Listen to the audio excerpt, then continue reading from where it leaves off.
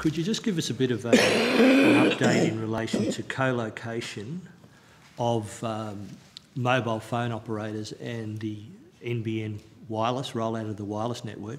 Where is the possible co-location of infrastructure? Where are you at corporately on that? Well, we have, um, wherever we can use an existing tower, and uh, we will do so.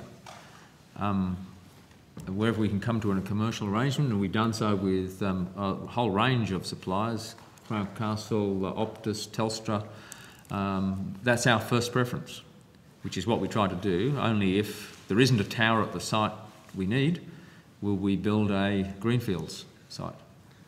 So have you any uh, towers that you're currently constructing that will have um, uh, Telstra and Optus uh, operating from them at this We point? have an obligation when we put up a new tower to make, to, to provide a facilities access arrangement with other um, potential users. So, yes, of course, we, we will do that.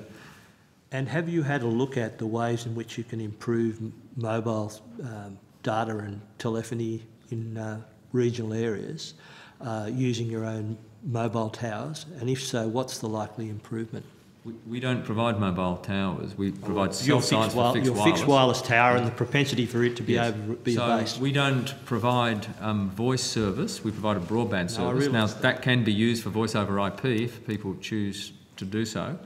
Um, and we expect that the towers that we're putting up, uh, other operators may, mobile operators may use those towers for, for mobile cell sites.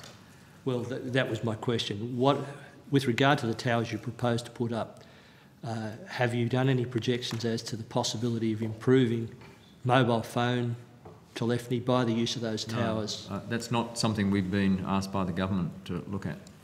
And I'm not sure we're, by the way, well placed to do that. Our job is to provide fixed broadband, not, not enter into the mobile market. Okay, thanks. Okay. Thanks, Luke. Senator McDonald.